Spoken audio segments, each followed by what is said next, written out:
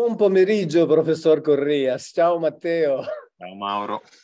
Allora, siamo qui per la nostra, non direi solita chiacchierata, perché oggi facciamo un discorso un pochettino diverso. Direi che senza pretese filosofiche cartesiane, ma cerchiamo di fare un discorso sul metodo, ma in un modo molto disteso, molto equilibrato e così come eh, insomma è un po' lo spirito, la filosofia del, del canale, no?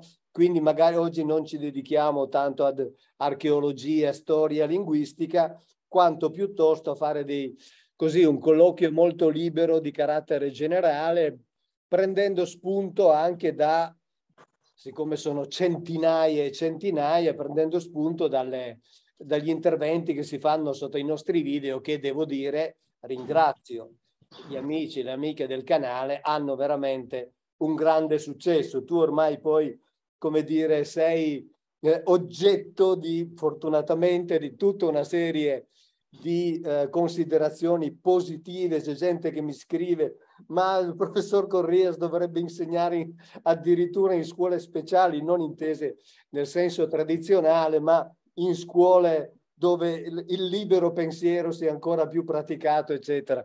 E quindi eh, direi che possiamo partire di lì.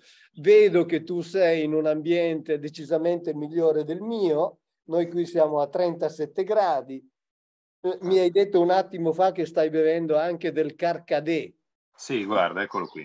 Ecco, dai, dai, dai miei bello fresco, bello fresco. Bello fresco, E quindi non, non, cedi alla tentazione biblica dello shakar, cioè della bevanda inebriante. Anche se ricordo dai miei studi di filosofia medievale che di Averroè si diceva che iniziasse i suoi pomeriggi di studio con un buon bicchiere di vino rosso. Ah, Probabilmente eh. erano i cristiani ah. che avevano inventato questa, questa fandonia. Per... Oppure magari faceva parte di una certa tradizione, chissà. Perché? Sì, c'è il sufismo che fa l'elogio del vino, per esempio, sì. Esattamente. Sì. Oggi appunto in linea con quello che dicevi, un collegamento un pochino più disteso, più vacanziero, mi sono concesso qualche piccolo ozium eh, estivo, quindi l'ombra del mio gazebo e appunto il, il carcadè come, come tu dicevi. Bene, direi, senti, visto che entrambi abbiamo letto no, le centinaia di commenti che ci sono sotto, se c'è magari qualcosa con la quale vuoi introdurre questa libera chiacchierata, e poi man mano io, certo. così man mano in funzione degli argomenti che eh, trattiamo, io magari faccio qualche intervento, come sai, quando parliamo sempre piacere che la gente ascolti soprattutto te, visto che io già parlo tantissimo nei miei altri video. Prego. Ah, sì, la prima cosa è, intanto io vorrei ringraziare le tante, tantissime persone che hanno manifestato il loro apprezzamento, in certi casi addirittura la loro gratitudine. Devo dire che per quanto mi riguarda è gratificante ecco, sapere che il proprio lavoro è riconosciuto, eh, la qualità del lavoro che stiamo cercando di fare è riconosciuta e, e qualcuno addirittura ha trovato utile quello che noi eh, abbiamo condiviso. Ecco, questo è davvero, davvero molto gratificante dalla, dal mio punto di vista. Devo dire poi che alcuni commenti in particolare sono stati anche personalmente piuttosto utili. Per esempio, eh, penso ad alcuni commenti in cui chi ci ha voluto scrivere eh, segnalava alcune letture, alcune integrazioni bibliografiche molto, molto utili davvero. Penso soprattutto a uno studio in particolare, bellissimo, eh, Il crollo della mente bicamerale eh, di Julian James, che piuttosto distante nell'impostazione metodologica dalla mia personale abitudine, però è stata una lettura eh, che io ho fatto, gradevolissima e devo dire anche piuttosto utile, anche per integrare quel discorso che noi facevamo sugli effetti della nascita della civiltà della scrittura eh, dal punto di vista poi della psicolinguistica e sugli aspetti cognitivi delle civiltà. E tra l'altro, scusa, è un libro che non solo possiedo, ma che ho letto tempo fa, quindi... Sì, io non lo conoscevo e ne ho dire, compreso l'importanza, sì. Eh, esatto, sì, l'ho scoperto grazie a qualcuno dei nostri, dei nostri ascoltatori, appunto. In altri casi poi sono arrivate delle osservazioni, devo dire, piuttosto argute, avvertite anche, insomma, da persone che evidentemente avevano una certa cognizione di quello di cui di cui parlavano e molte di queste osservazioni si sono appuntate ad esempio sulla figura di Iacchos che noi abbiamo presentato nell'ultimo video. Eh, alcuni hanno segnalato l'assimilazione che era già stata fatta in antico della figura di Iacchos con Dioniso. Eh, io devo dire ho affrontato tutti questi discorsi con ampiezza nel mio studio Esoterismo e culti misterici nell'antica Roma, a cui mi permetto di, di rimandare chi fosse interessato a appunto approfondire la questione. Devo dire che se non ho ritenuto opportuno approfondire il discorso nel nostro precedente video è per due motivi fondamentalmente. Il primo è che non volevo sovraccaricare il discorso, eh, oltretutto con degli elementi che sono dal punto di vista cronologico piuttosto discosti dall'epoca eh, alla quale noi facevamo riferimento, perché le prime tracce di questa, che fondamentalmente è un'interpretatio greca di Iacchos come Dioniso, eh, nel contesto del culto eleusino, risale al primo secolo a.C.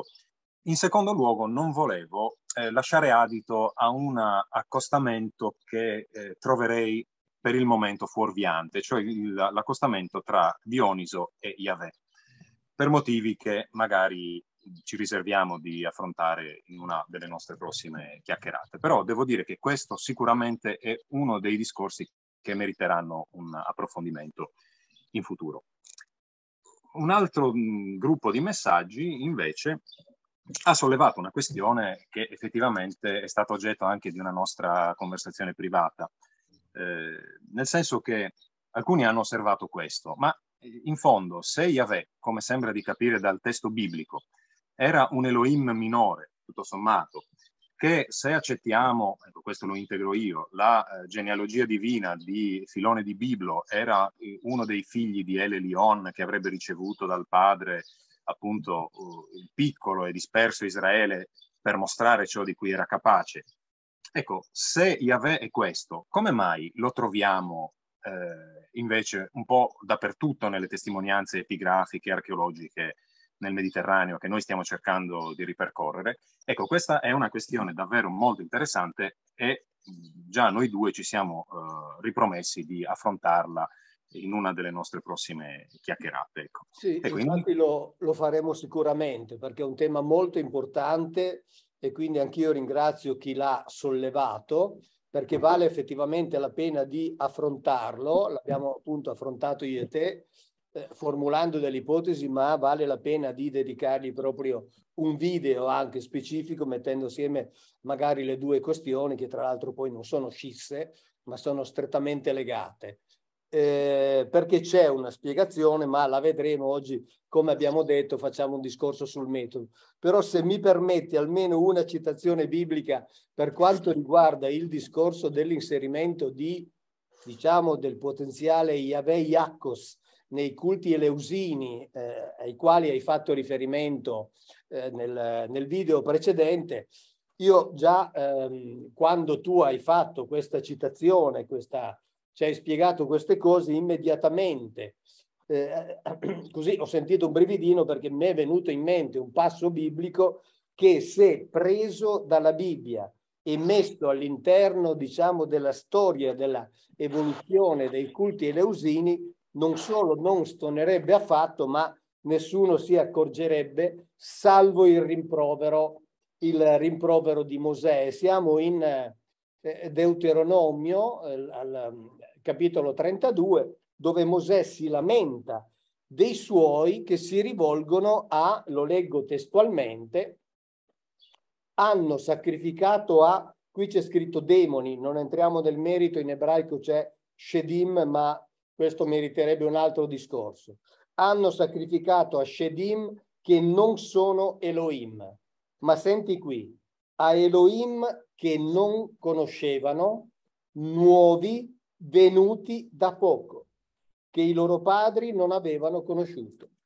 Ora questo mi fa venire in mente quello che dicevi tu l'altra volta, cioè che Iacos è una divinità, fra virgolette, nuova, una divinità semitica entrata nei culti, in particolare nei culti eleusini dei greci, quindi ciò che ci dice Mosè qui, e lo dice in tono di rimprovero, sono arrivati degli Elohim nuovi, che quindi sono arrivati da un'altra parte, e una parte dei suoi, contravvenendo a quello che era, lo sappiamo, l'ordine preciso, si sono dedicati al loro culto.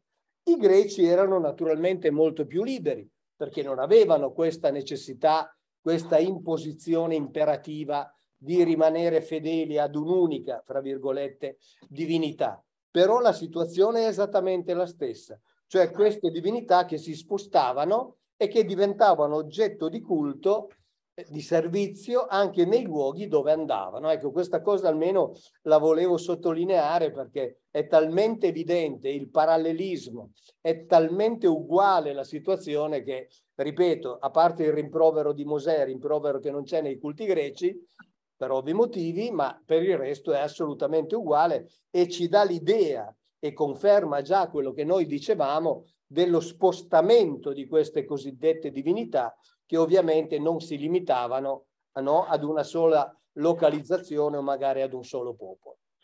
Sì, oltretutto mi viene in mente che quello di Yahu Yakos non sarebbe neanche il, l'unico caso di questo tipo di trasferimenti, perché mh, già nei tuoi video su Michael tu avevi accennato a un significativo parallelismo che alla fine è possibile istituire tra la figura di Michael eh, è la figura del dio greco Apollo.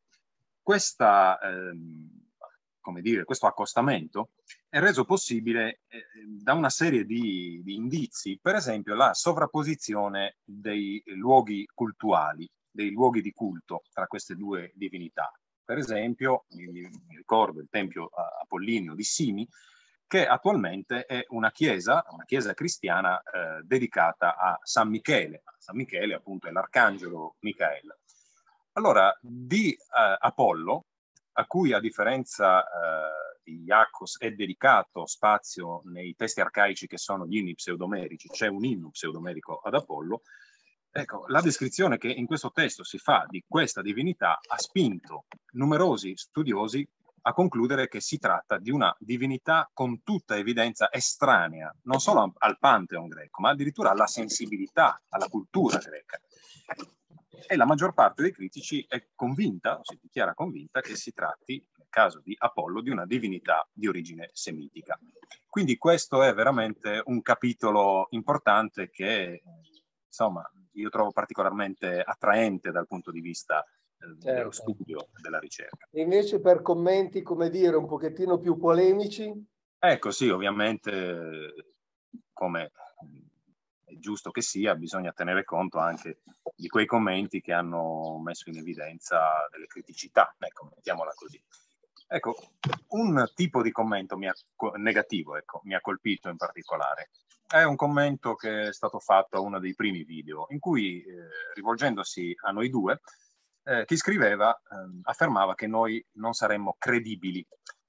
Ora, io ho riflettuto su questo concetto della, della credibilità e sono arrivato a questa conclusione. Fondamentalmente, a me non importa proprio nulla di essere credibile e non importa nulla, neanche in, ovviamente in questo contesto specifico, di essere creduto.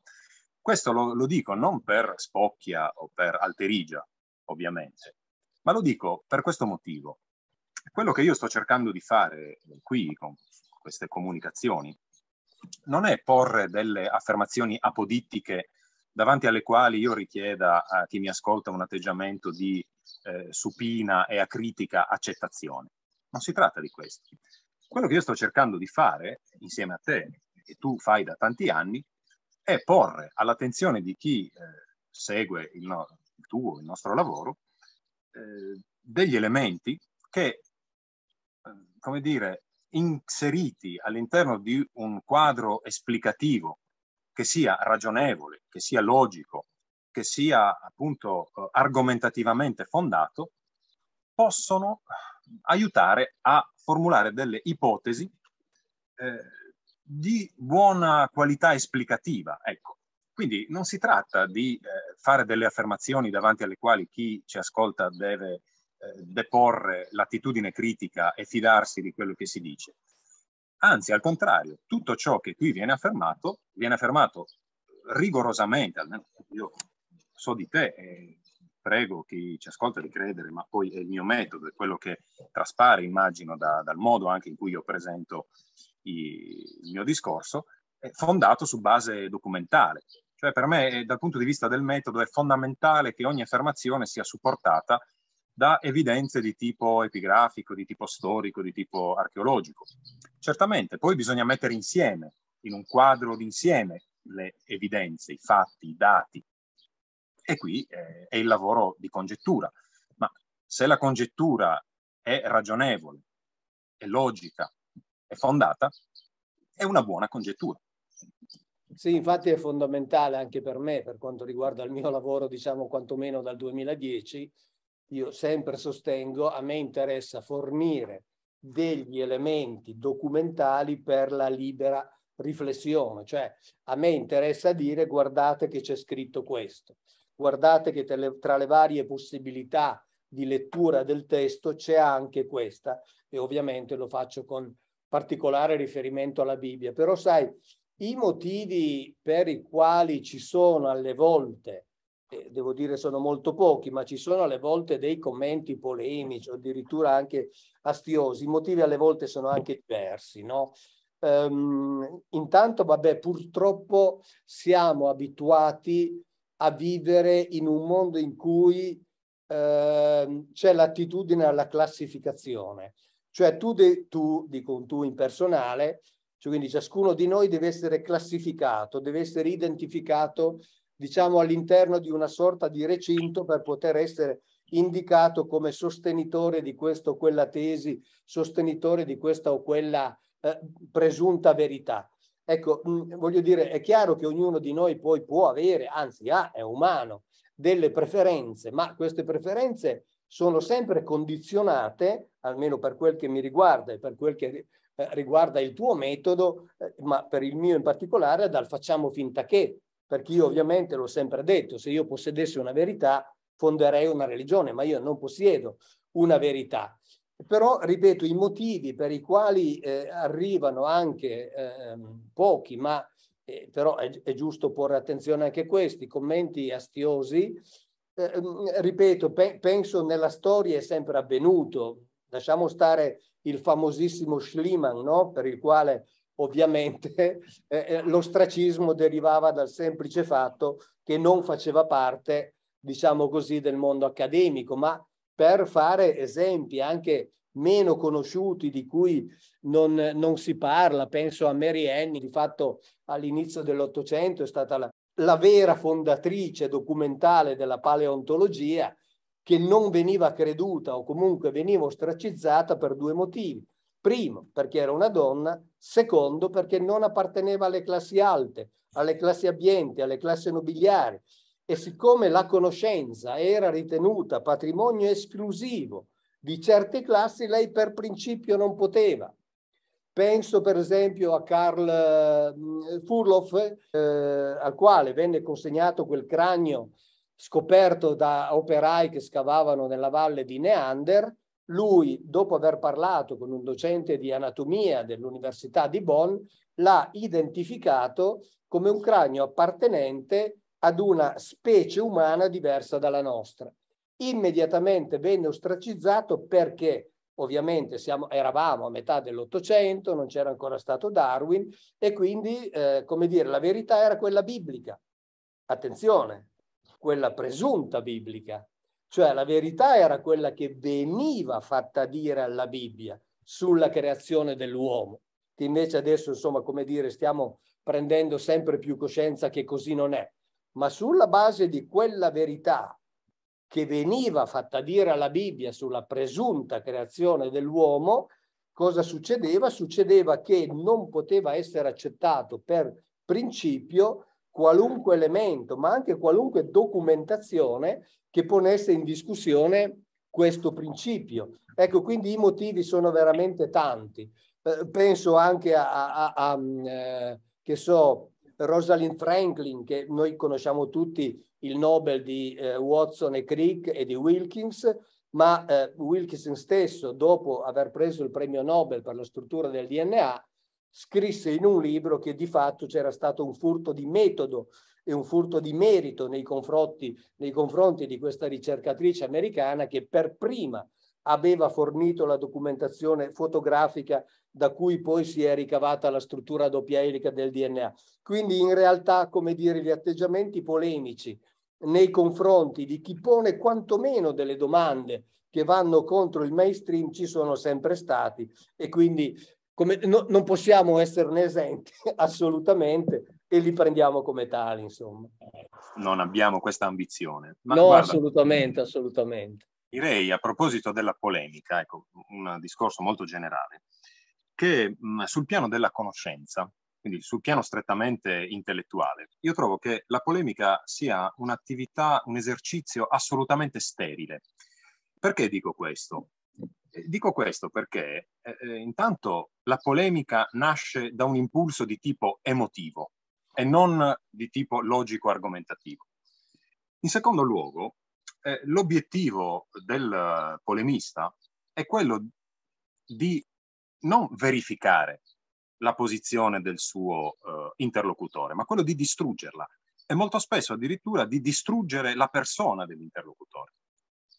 Ecco perché sono convinto che la polemica sia un'attività sterile se ci si mette dal punto di vista di chi vuole invece costruire la conoscenza. Attenzione, non, non intendo certamente dire che non si debbano ricevere critiche o non sia eh, possibile e opportuno ricevere delle critiche, però ecco, la critica è un'altra cosa.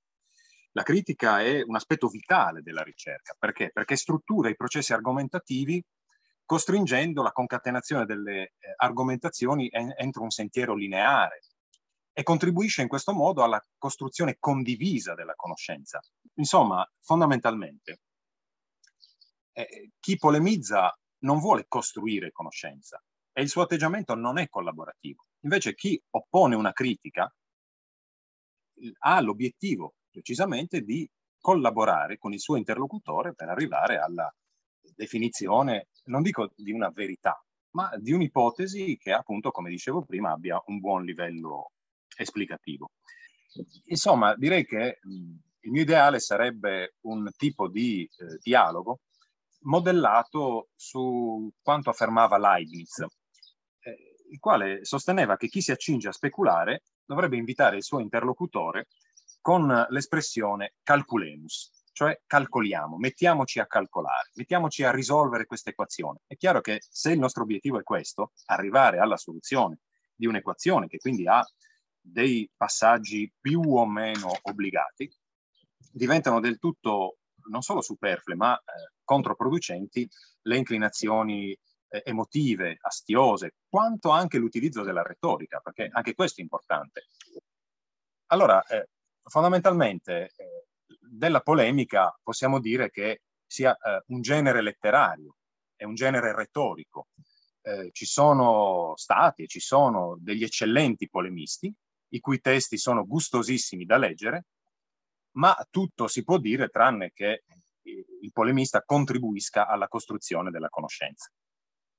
Sì, certo. E poi c'è anche un'altra considerazione da fare, io me ne sono accorto in questi 12 anni, diciamo che i polemisti puri, quelli appunto ai quali ti riferisci tu, fanno molto più rumore di chi invece opera per la collaborazione. Devo dire che in questo canale tutto questo non avviene, mentre invece avviene nel resto della rete, ma fa parte del gioco, quindi non è come dire che me ne lamenti, è inevitabile, soprattutto quando si toccano temi sensibili come questi, che vanno veramente a, eh, come dire, puntare il dito nell'intimo delle persone.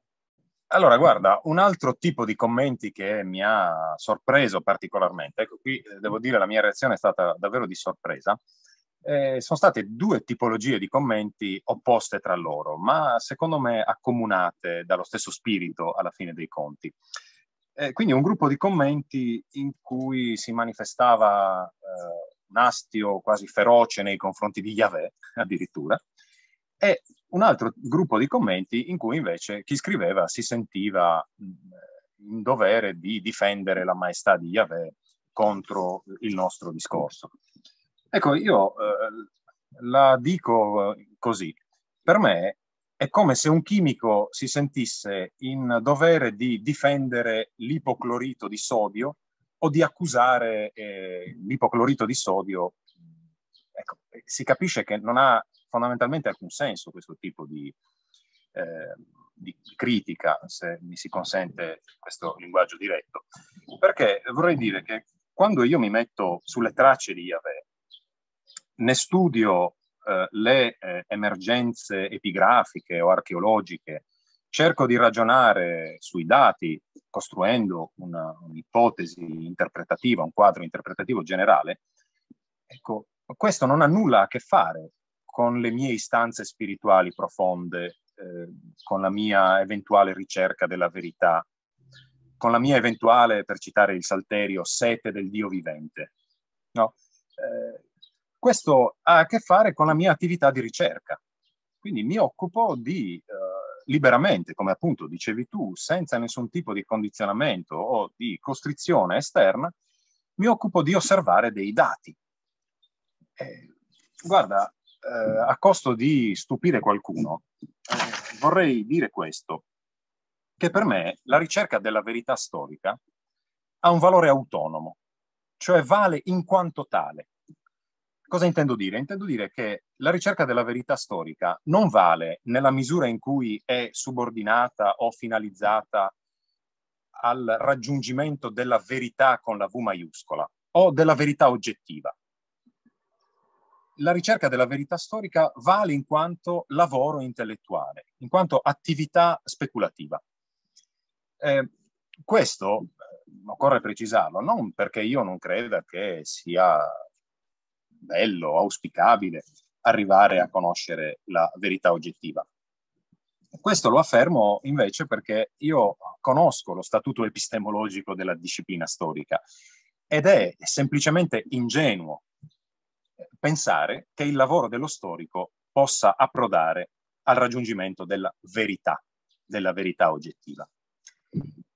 Allora, questa affermazione può sembrare forte, però mh, provo a spiegarla con un esempio e con una citazione autorevole. Se io so che A è maggiore di B e B è maggiore di C, io posso concludere con un grado assoluto di certezza che A è maggiore di C. Non si discute. Ecco, qui veramente si capisce quanto non sia vero che la verità rende liberi. La verità non rende liberi, la verità ti inchioda. No? A è maggiore di C, non sei libero di pensare altro. Questa è la certezza che è garantita dalla eh, ricerca logico-matematica. Per quanto riguarda invece la ricerca storica, io potrò dubitare ragionevolmente fino all'ultimo giorno della mia vita, ad esempio del fatto che Napoleone abbia mai messo piede sull'isola d'Elba. Mi rendo conto che questo discorso insomma, potrebbe prestare il fianco a un'obiezione alla fine dei conti è questa. Eh sì, ma questa è la radice del negazionismo storico. Attenzione, io sto facendo un discorso che vuole inquadrare la questione da un punto di vista strettamente speculativo. Al punto che vorrei citare Umberto Eco, eh, insospettabile di essere un membro degli ambienti della cultura alternativa o del negazionismo storico o di quant'altro, il quale si spingeva a eh, mettere in parallelo non la verità logico-matematica con la verità storica, ma la verità storica con addirittura la verità romanzesca, la verità di un romanzo, la verità narrativa. E lui diceva una cosa del genere. Eh, appunto, io potrei dubitare del fatto che mh, l'esercito napoleonico sia stato sconfitto presso il fiume Beresina, si può dubitare ragionevolmente. Dobbiamo affidarci a delle prove, a dei documenti, a dei resoconti. Non potrò mai dubitare, invece, del fatto che Emma Bovary sia stata infedele a suo marito. Perché quelli sono i fatti, sono solo lì. Sono i fatti come sono stati concepiti dal narratore e sono stati messi su carta. Certo. Ma eh, direi che quello che poni tu è un problema fondamentale della possibilità di definire la storiografia come una scienza, secondo i parametri definiti dalla scienza, no? che è veramente una questione, una questione fondamentale. Poi se pensiamo anche alla storia più antica questo diventa ancora più vero ma senza andare indietro di 4-5 mila anni, ma voglio dire, la storia di Roma, no? Anche lì noi conosciamo una parte dell'opera monumentale di Tito Livio, che poi, ne conosciamo solo una parte, che poi veniva citato da altri storici, quindi lui era la fonte per altri, ma, ma non è che la ripetizione della fonte la renda di persevera, perché magari gli altri la accettavano anche acriticamente. Quindi in realtà, esattamente come dici tu, eh, il, il valore in sé sta nella ricerca. E tu hai fatto un'altra affermazione che la verità non rende liberi, che è una cosa che a me è capitato di dire qualche volta nelle conferenze, in totale contrasto con quella che invece viene spesso riaffermata come verità evangelica, quando Gesù dice la verità vi rende liberi ma non entriamo nel merito perché Gesù non si riferiva certo alla verità di ordine altamente speculativo, viste le persone alle quali si riferiva. Quindi intendeva tutt'altro, ma ripeto, oggi non parliamo, di, non parliamo di contenuti. Quindi in effetti, come dici tu, la verità inchioda, perché se la verità è quella, finisce ogni speculazione, finisce ogni valore di ragionamento. Ti fermi lì, la accetti, non puoi fare altro e basta. Io di fatti ho sempre so- sostenuto, ma con me stesso soprattutto, che, eh, sai, si parla da sempre della ricerca della pietra filosofale come ricerca al termine della quale, trovata la pietra filosofale, non tanto quella che trasforma il piombo in oro concretamente, ma quella che trasforma l'interno dell'uomo, io ho sempre avuto la convinzione che la trasformazione dell'uomo avviene durante la ricerca, non quando si sia trovata alla fine la pietra filosofale che molto probabilmente non verrà mai trovata. Ecco, volevo soltanto chiosare per confermare queste tue parole. Ottima chiosa. Guarda, eh, giusto per movimentare ulteriormente questa nostra sì. conversazione, eh, mi ha colpito anche un altro tipo di commento, quello in cui Mm, si, chi scriveva si scagliava a testa bassa contro le interpretazioni fuorvianti del dettato biblico, della scrittura e quindi fondamentalmente contro il lavoro teologico. Ecco, io qui vorrei essere capito correttamente, quindi cercherò di essere il più chiaro possibile. Però dal mio punto di vista, il lavoro del teologo è estremamente interessante dal punto di vista appunto su cui ci stiamo ponendo ormai, che è quello speculativo. Attenzione, non sto dicendo che il lavoro del teologo consente di approdare alla verità con la V maiuscola, alla verità oggettiva, magari alla verità metafisica, non sto affermando questo. Sto affermando che come attività intellettuale, quella del teologo è un'attività di tutto rispetto. Penso per esempio alla faticaccia che deve fare alla fine dei conti un teologo cattolico che parte da un contesto culturale, quello che ha prodotto il testo sacro del cristianesimo, che è la Bibbia, che è un contesto culturale irriducibile a, ai contesti culturali occidentali d'arrivo, diciamo così. E a differenza del filosofo che costruisce il suo sistema liberamente, quindi ha davanti a sé un campo sterminato sul quale può passeggiare in qualsiasi direzione egli voglia, il teologo invece cammina su un campo minato, non può seguire liberamente qualsiasi direzione il suo spirito lo inviti a fare. La presenza di questi vincoli, di queste costrizioni, rende il suo lavoro estremamente complesso e, devo dirlo, estremamente affascinante anche sul piano, sul piano speculativo.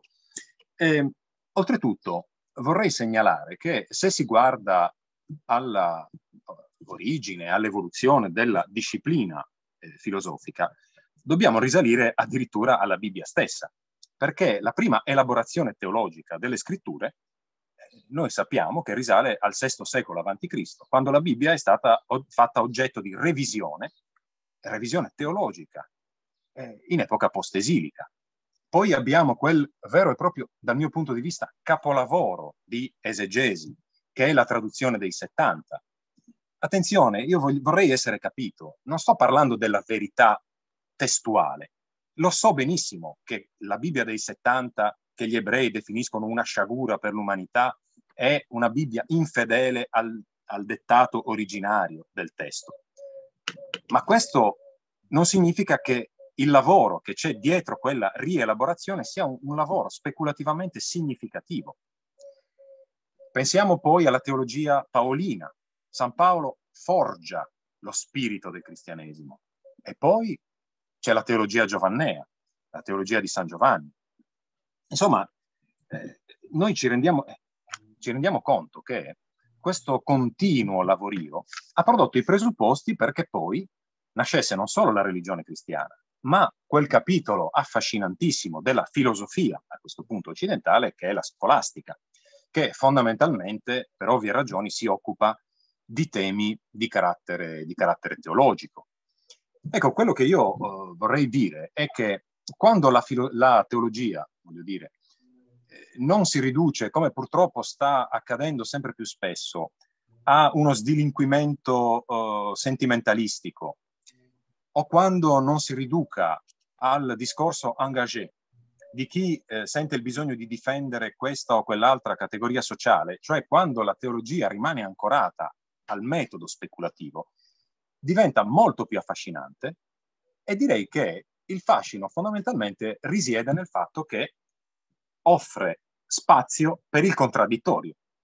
Perché se io faccio un'affermazione grondante di sentimentalismo, tra le tante che i, i vari predicatori possono, di qualsiasi confessione cristiana, po- possono ammannire a, al loro pubblico, no, non voglio essere irriverente, quindi non farò degli esempi, ecco, perché potrebbe suonare irriverente, però mh, si pensi a una qualsiasi delle affermazioni dell'omiletica, insomma, popolare, ecco. Lì in realtà non c'è contraddittorio possibile. Vabbè, sarà. Quando invece si, si ponga una affermazione di tipo teorico, speculativamente, argomentativamente fondata, allora lì c'è campo per eh, l'obiezione, per la controargomentazione. A quel punto diventa molto interessante. A proposito della Bibbia dei 70, con, consentimi questa piccola osservazione di carattere storico-filologico.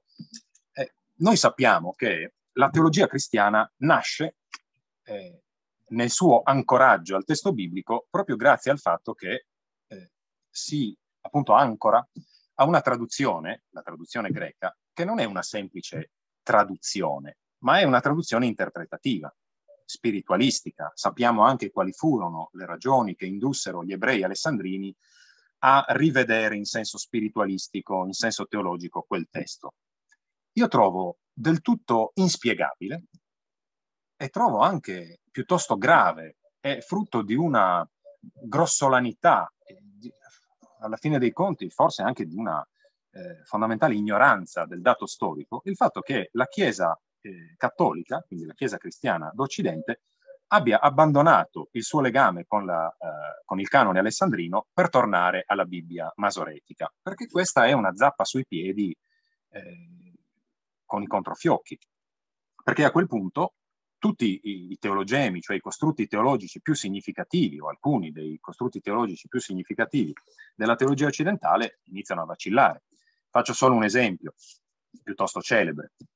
Se io scopro che eh, la Vergine che concepirà e partorirà un figlio di Isaia non è una vergine, perché è una fanciulla, non concepirà perché è già incinta un figlio, beh, è chiaro che quella profezia d'un tratto si smaterializza, al punto che, come tu hai richiamato tante volte, la conferenza episcopale tedesca è stata costretta a tornare sul testo tedesco delle scritture e correggere appunto quel, quel passaggio, perdendo un tassello della costruzione teologica, appunto, che è stata parte integrante, una parte importante della tradizione teologica occidentale. Certo, e, e tra l'altro, eh, guarda, a me è capitato più volte perché ovviamente, come puoi immaginare, mi vengono fatte richieste di ogni genere, no?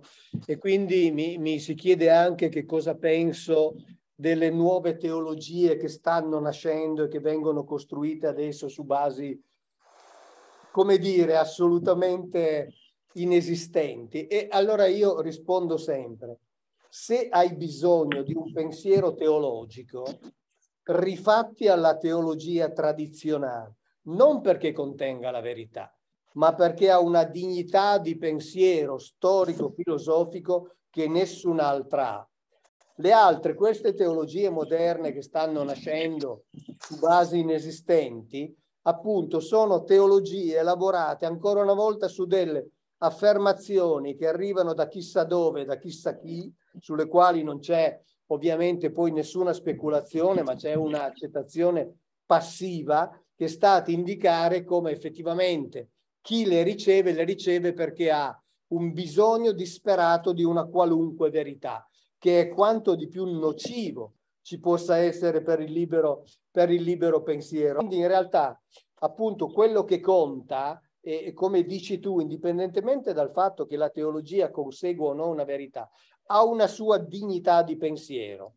Dopodiché questa sua dignità di pensiero si è esercitata su di un testo che teoricamente pone, dovrebbe porre dei limiti, no? Perché poi il testo è quello, però come dici tu, i testi in realtà a questo punto sono quantomeno due, poi sappiamo che sono di più perché c'è la Bibbia samaritana, c'è la Bibbia dei copti, eccetera, ma quella greca, lo sappiamo, aveva tutta una serie di motivi, tra cui non dimentichiamo c'era un motivo anche di ordine, diciamo di prestigio letterario per questi ebrei alessandrini che si trovavano di fronte alla cosiddetta intelligenza greca che aveva da presentare, da mettere sul tavolo per automagnificarsi, ma anche giustamente, tutta una serie di opere letterarie no, di grandissimo valore, diciamo di valore universalmente allora riconosciuto, mentre loro non avevano nulla. Quindi c'era anche questa necessità di porsi quantomeno sullo stesso piano, dicendo anche noi abbiamo un testo letterario di altissimo valore. E come dici tu, giustamente, i primi cristiani si rifacevano a quella, poi adesso si è passati alla Bibbia masoretica, cioè quella elaborata, diciamo, alla fine del primo millennio d.C. che si trova fissata nel codice di Leningrado e a stampa nella Bibbia stuttgartensia e adesso si stanno inserendo anche, giustamente direi per certi aspetti, in assenza di verità assodate, i testi di Qumran e insomma tutto ciò che si sta sulla base del famoso Bible Project eh, avviato ormai 70 anni fa all'Università Ebraica di Gerusalemme, che intende un po' riprendere tutto ciò che di Bibbia, quindi papiri, eccetera, sono stati trovati nel corso dei secoli e vengono ancora trovati nella Bibbia. Quindi in realtà insomma si sta eh, accumulando veramente una grande forma di una grande quantità di informazioni e su queste ovviamente anche la teologia si dovrà necessariamente esercitare o riesercitare, perché è chiaro che ogni volta che viene fuori un testo nuovo, potenzialmente, pensiamo per esempio alla potenziale rivoluzione che i testi di Qumran portano nelle origini del cristianesimo, nelle possibili origini del cristianesimo e quindi è chiaro che quindi la teologia ha questa necessità, se non totalmente, almeno parzialmente, di ripensarsi. Sì, guarda, io trovo che alla fine dei conti la questione si risolva nella comprensione del fatto che si tratta di usare il metodo storico, nel senso che eh, non si tratta qui di pensare alla teologia come alla via che consente di approdare alla verità. Tra l'altro ho l'impressione che neanche molti ecclesiastici ci credano. Eh. Io ricordo le dichiarazioni di, di, Papa Francesco, per esempio, o di Bergoglio, eh, se accettiamo il discorso del codice Ratzinger che insieme abbiamo fatto, eh, che affermava lasciamo che i teologi si occupino delle loro cose astratte. Quindi non si capisce bene, tra l'altro, questo scollamento tra la gerarchia ecclesiastica e il lavoro dei teologi, eh, posto quasi come antagonistico rispetto, rispetto alla Chiesa. Eh, ehm, però ecco, se noi osserviamo la teologia, parliamo di quella cristiana, e la religione che su di essa si è, si è costruita, cioè il cristianesimo, alla fine dei conti, se lasciamo da parte questa sete di verità che comprensibilmente anche ci, ci anima, eh, quello che vediamo, che dovremmo vedere quando osserviamo il cristianesimo è alla fine dei conti un raffinatissimo oh, costrutto culturale. Ecco. come tale va studiato, va studiato con quell'atteggiamento eh, sereno, distaccato e oggettivo che abbiamo richiamato all'inizio della nostra conversazione. Oltretutto, eh, questo tipo di atteggiamento ci consentirebbe, per esempio, un inquadramento molto efficace, che so io, dell'estetica occidentale e in generale dell'idealità della cultura occidentale. Guarda, mi, mi, permetto di fare un piccolo esempio che nasce dalla, dai miei studi proprio di questi giorni. No? Eh, studiando eh, la fase preliminare del sacrificio romano, dove si offrivano sull'altare, su un altare portatile, vino e incenso, mi sono imbattuto sulla riflessione di questo studioso che interpretava il vino come un analogo simbolico del sangue, del sangue umano. Allora, in realtà le fonti eh, che sono state repertoriate, studiate, analizzate da Robert Onians, a questo proposito in un bellissimo studio che si intitola Le origini del pensiero europeo, attestano in maniera chiara, certa, inequivocabile, indiscutibile che il sangue era interpretato come un analogo o addirittura molto di più del eh, liquido vitale che scorre nel nostro corpo, cioè i liquidi chiari di cui abbiamo parlato anche nel nostro video sulle corna divine. Ecco, nonostante queste evidenze assolute, perché stiamo parlando di autori importanti come Omero, come Ovidio, Virgilio, non di autori sconosciuti, ecco, questo studioso eh, pone questa eh, identificazione del vino con il sangue. E io mi sono detto, ma vuoi vedere che alla base di questa identificazione non ci sia chiamiamolo così, il pregiudizio eucaristico per cui questa associazione inconsapevolmente sarebbe guidata appunto dall'abitudine, dalla nostra abitudine culturale di collegare questi due elementi e ho davvero l'impressione che sia così. Quindi anche inconsapevolmente noi tendiamo, perché siamo immersi in questo liquido amniotico tutto sommato, tendiamo a vedere il mondo sulla base di queste coordinate attraverso questa lente. Ripeto, io non sto affermando che sia la verità. Non si tratta di questo. Si tratta di guardare alle cose con un metodo storico che sia un metodo storico appunto valido, oggettivo. Oltretutto, per tornare alla dignità speculativa della teologia, eh, per dimostrare meglio ciò a cui mi sto riferendo, eh, vorrei citare due esempi.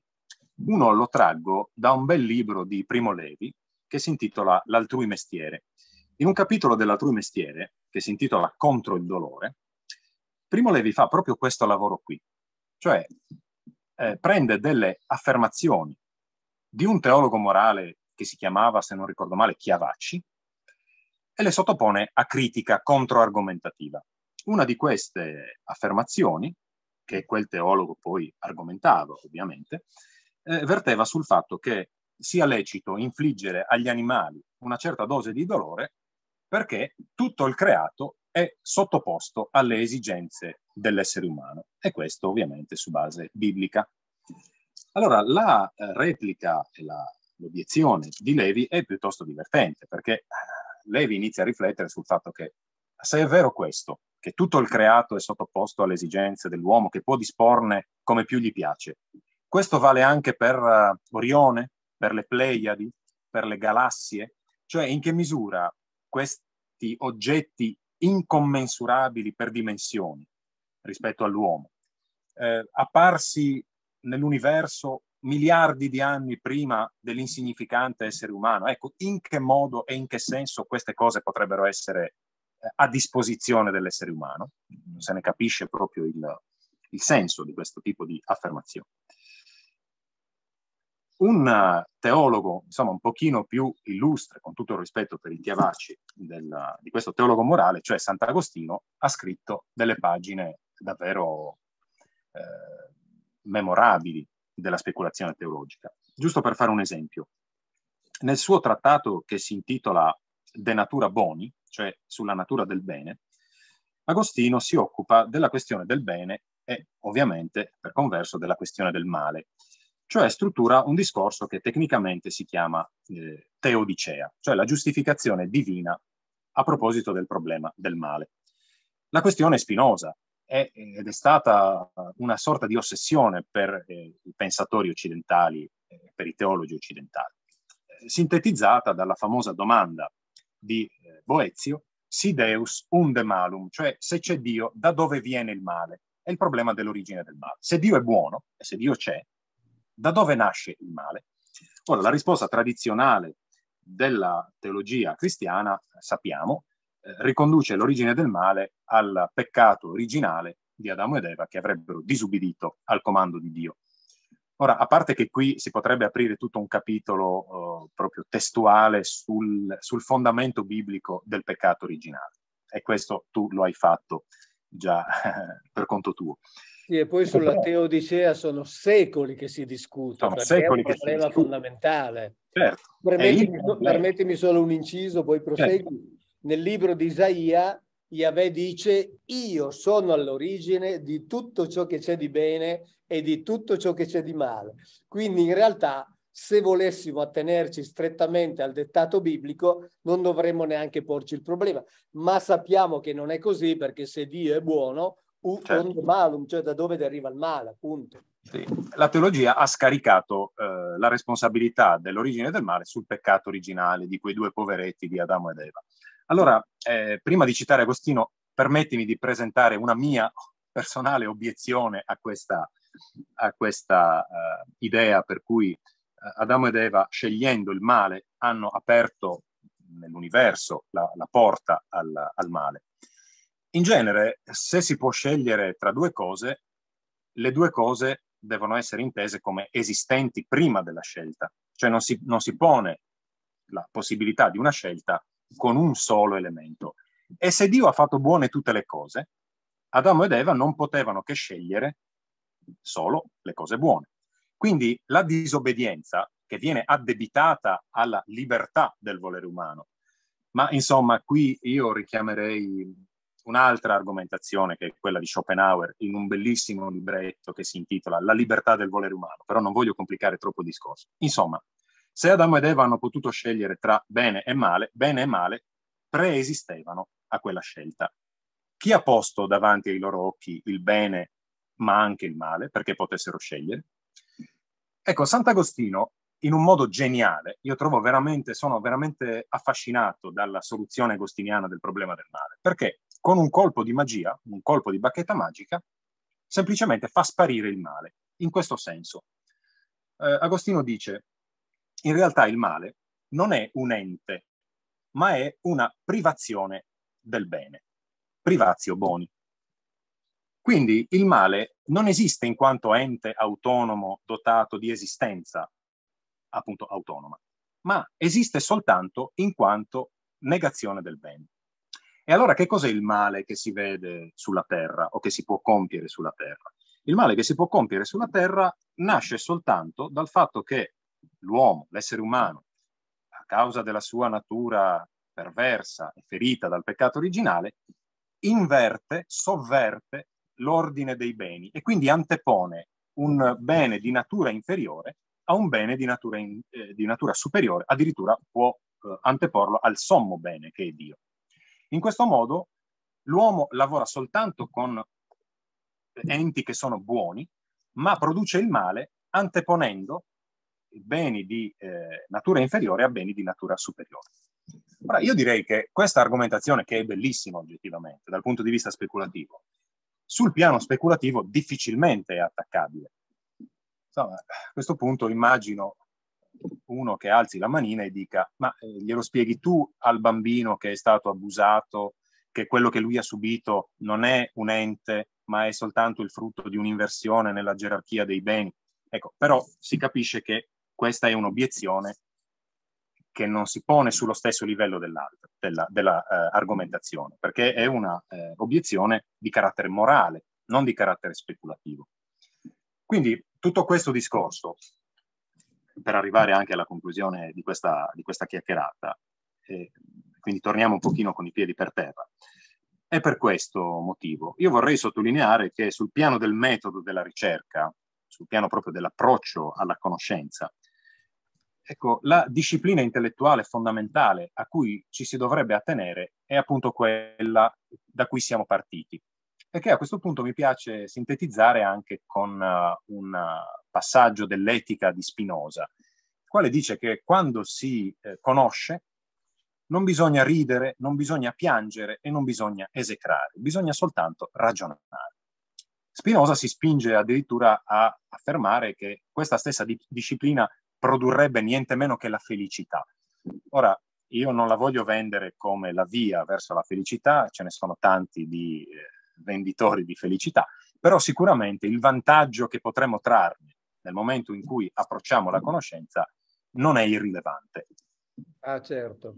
Guarda, il discorso di Adamo ed Eva appunto è un discorso complessissimo perché in realtà poi il discorso della conoscenza biblica lo sappiamo qual è, è relativo alla sperimentazione, quindi Adamo ed Eva hanno deciso di sperimentare un aspetto, aspetti della vita che lì dentro probabilmente non avrebbero mai sperimentato, ma lasciamo stare perché abbiamo detto oggi facciamo un discorso sul metodo. Adesso che hai citato Spinoza, mi viene in mente un libro che ho letto tanti anni fa di un intellettuale ebreo che è Arturo Schwarz, che è banalmente conosciuto come storico dell'arte, in realtà è eh, laureato a Oxford in, se non sbaglio, in scienze naturali, laureato alla Sorbona in filosofia. Lui in questo libro, eh, dove dice sono ebreo anche, e sono le riflessioni di un ateo. E lui cita proprio Baruch Spinoza, nel suo Deus sive natura, no? quindi, in questa quindi concezione immanentistica che non vede una distinzione tra